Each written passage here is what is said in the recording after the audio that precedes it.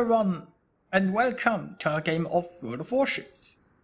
Today's replay is from IRAQz and he is in the Des Moines, the tier 10 US cruiser. He is on the map north in a 4 point domination game. And there are 3 destroyers per team, it's obviously a tier 10 battle.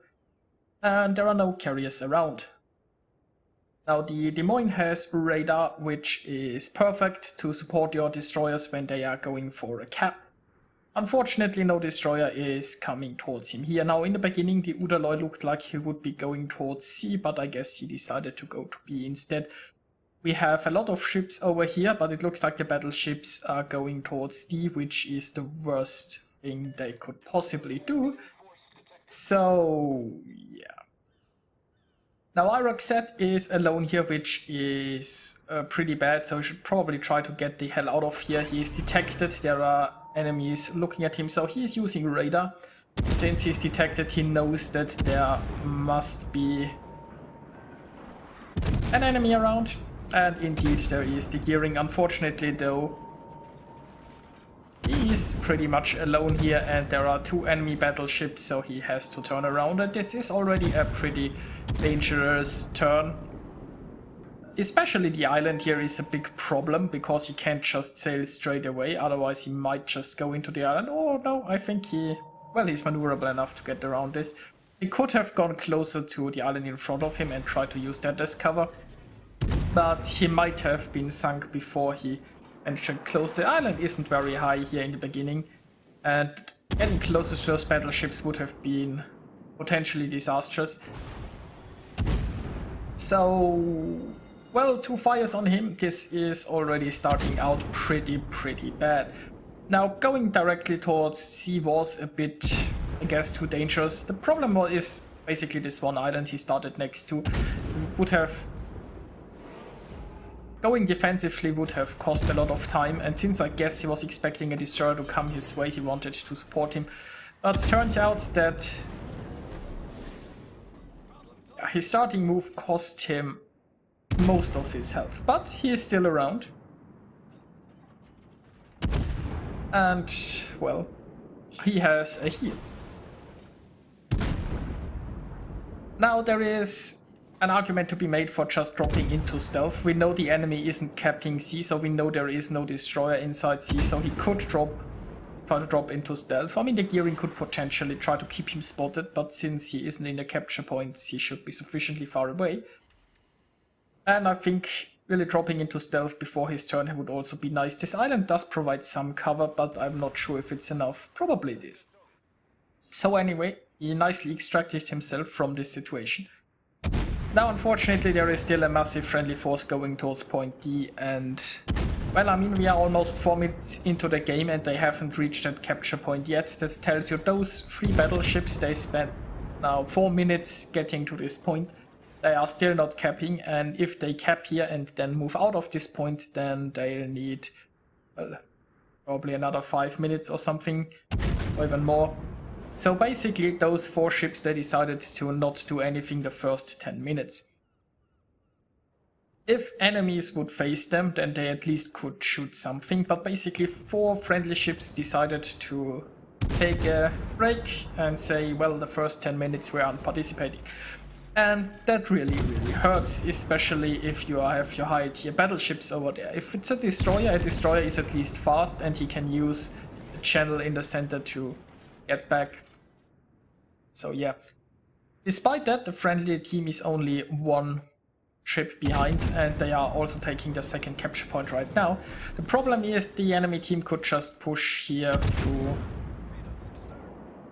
this cap, I suppose. We have a Yugumo. If the Yugumo actually decides to take point D, that would be good for the friendlies. And IRAQz nicely avoided those hops. Now, if the Yugumo decides to go through this small passage, the Baltimore can just radar him, and then those ships can pretty much wreck the Yugumo. But it looks like the enemy isn't foolish enough to try that. Now the friendlies here that uh, remain on the majority of the map, they are in pretty bad shape because they have to face overwhelming odds and they really need their ships over there and their ships over there are not even close to joining this battle. Now said he is healing once more a little bit currently. And well, all he can do is sail here and try to shoot things. Now, his Missouri's guns aren't pointing his way, nobody is currently aiming at him, so he can sit here sailing broadside, but he has to be prepared and he has to watch out. Now, someone is aiming at him. Is it the Missouri? Probably. The guns are turning this way, so that's something to keep in mind. And he has to turn away now the shells are firing and IRAQz is turning away so he is pretty well angled when those shells arrive and then he can turn back and use his front turrets again. So he is keeping track of the enemy and it looks like the Missouri has given up right or has he? No, I think the guns are turning back his way.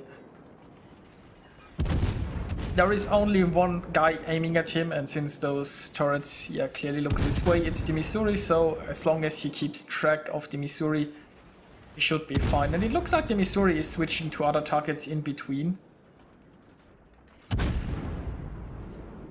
Also, the Missouri is nicely burned. Now here on the right side, uh, the Conqueror has even fallen further behind this fleet for absolutely no reason. I mean, maybe they have shots at the Roon right now, but those ships still haven't really done much. I mean, it's now 7 minutes into the game, and they are probably starting to join the battle. Well, at least the Friedrichs. So I guess they are a bit faster than I gave them credit for. Uh, but only two of those ships are actually trying to rejoin the battle. The other two are still happy. Taking a break, I suppose. So this battle is going surprisingly well, considering how much firepower the friendly team is missing.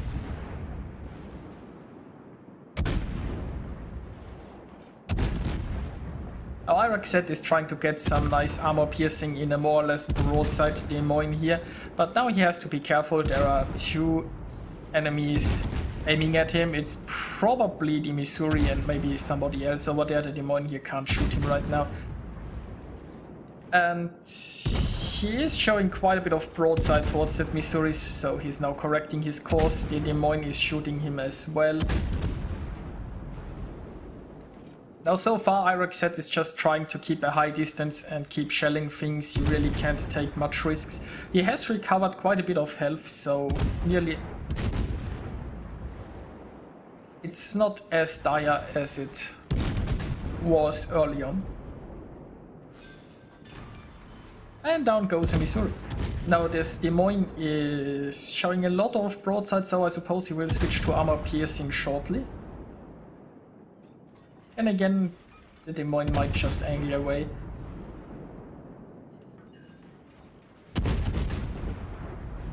Now, thankfully there is a North Carolina around, and I think the Des Moines is angling against the North Carolina. Now IRAQz has switched to armor piercing, so maybe there are some citadels incoming here. And well, no citadels, but a very nice salvo indeed. Now, unfortunately, the Freddy battleship here went down. But on the bright side, the Des Moines is almost down, and that would leave just the Edinburgh here. Nicely done. Now the only real fire support here might be the Yugumo, and I'm not sure if the Yugumo is engaging his guns. I think this island blocks the Kurfürst from doing anything, but I'm not sure. Also, let's look at the timestamp. It's like 9.50 minutes in. Uh, nine and a half minutes in. And it looks like the Kurfürst and the Conqueror are joining the battle for kind of the first time. There is still a Baltimore and a Friedrich. They didn't push here north, so they are going down here, so they are taking a break right now. Uh, despite everything, it's still equal ship-wise, which is really amazing. And this Edinburgh here should be going down soon.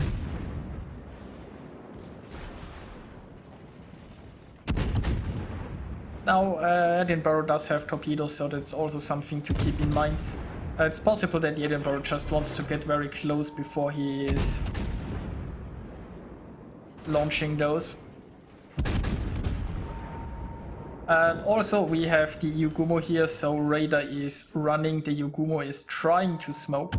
And he was not able to immediately make use of his radar to shoot the Yugumo, but he spotted the Yugumo for not only for himself but also for his teammates and the Conqueror was able to take out that destroyer. So it's looking pretty amazing for a friendly team, surprisingly.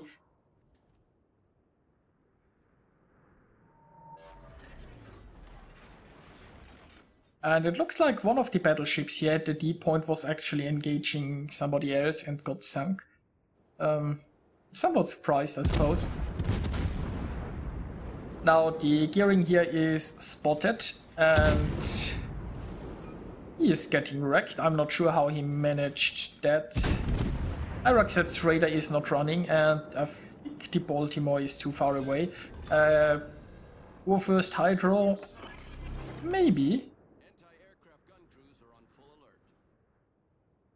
So that was nicely done. And suddenly it looks amazing for the friendly team. It's also amazing that IRAQz is still around. He took so much damage in the beginning. And despite that, he stuck around and just wrecked enemies left and right so far.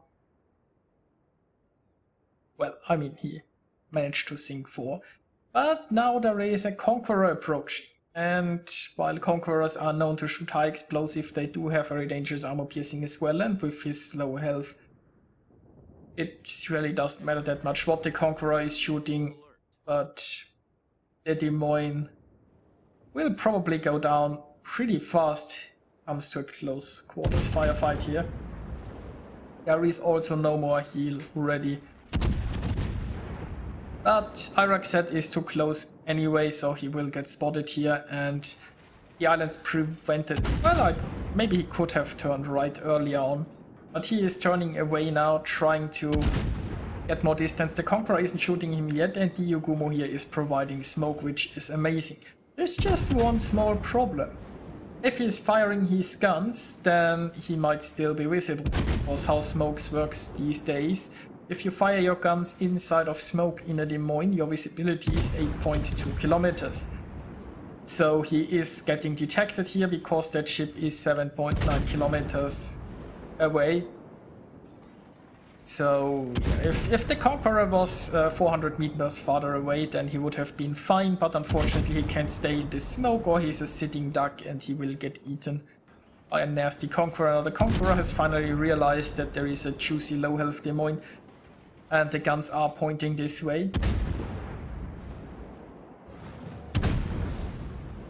Well, Conqueror starts a fire, he takes care of that fire immediately, his health are too low to keep that burning, that's for sure. So I guess it depends what the second salvo here does. If he starts another fire, IRAQz goes down, but he does not. And he sinks the Conqueror instead. So there is the Kraken unleashed already a lot of damage here done and still your friendly team is only one ship ahead. I mean, they're one capture zone ahead, one ship ahead, and they have more points. So overall, you'd say it looks amazing. But there is still a Monarch, a Yamato, and a Roon around. And this certainly could end badly. I mean, the Roon could sink the in one salvo. If the Monarch is supporting the Roon, then as soon as IRAQz gets spotted here, he could get taken down. Now he's hoping to use this island as a cover to not get spotted and to shell the Roon here. Also, uh, the Z-52 could be in trouble. We don't know the layout of the Roon if he has his German Hydro with him and gets a bit aggressive. He could hunt down the Z inside the smoke. If that Roon sinks the Z and takes that point, it could be pretty close one. Now IRAQz could just silence his guns and sail into a corner and hope that's enough, but there is still 5 minutes remaining. And while they are already at 860 points, it's... Well, it's just not certain that they are going to win if he does nothing, so what... Currently he's not being spotted, he is keeping this cover and he is just trying to hit something with his shells, but you know. It's not easy with this island blocking the way. Now the biggest problem is we don't know what the Monarch does. if the Monarch comes around here and spots IRAQz, then he is pretty much toast. So he's already turning away here and... Oh my, what, what, what is this Roon doing? So he is going for armor piercing and he might be able to land some armor piercing salvos. And now he is detected, so now he might be in trouble. The Roon is already retreating. So if he is detected now, that means he is detected either by the Monarch or the Yamato. And I somehow doubt that the Yamato is around here. I guess he could have sailed through D and uh, he could potentially be behind him. But no, the Monarch is right there in front of him, and if the Monarch manages to hit him with one salvo, he might just be screwed. On the other hand, if they sink the Roon, they just win.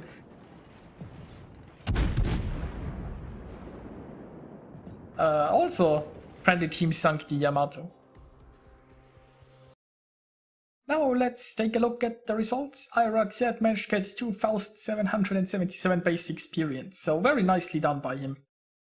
And yeah, he made an aggressive move in the beginning that almost was fatal, but despite his low health, he stuck around, he's done a ton of damage, and he was certainly instrumental in that victory.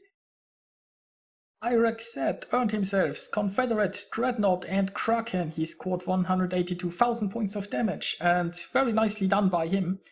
And also this game showed despite a not so great beginning, he did not give up. He stuck around there, he played it more passive, he kept his distance and ultimately he was very instrumental to this victory. So I hope you enjoyed watching this and I'll see you guys next time.